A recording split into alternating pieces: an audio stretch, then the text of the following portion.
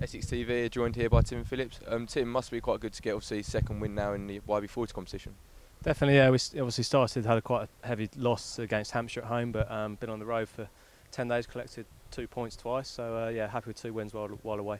Um, obviously, it must have been frustrating early on because obviously the game was delayed due to rain. So I expect you wanted to get out there and get performance like that. Yeah, of course. I mean, you know, fortunately they did clear. Um, it's one of these games that you do sort of, you know, without disrespecting Scotland as a, as a team, you do really think you want to take the two points. So, um, you know, yeah, important to get out there, and thankfully the weather did clear. And personal point from you, you obviously got three wickets. That must have been quite pleasing. Yeah, it's great. I've not bowled much sort of this season in one-day cricket, so um, just only three overs before today. So, pretty pleased taking the new ball, getting a couple of wickets early on, and uh, setting the tone there.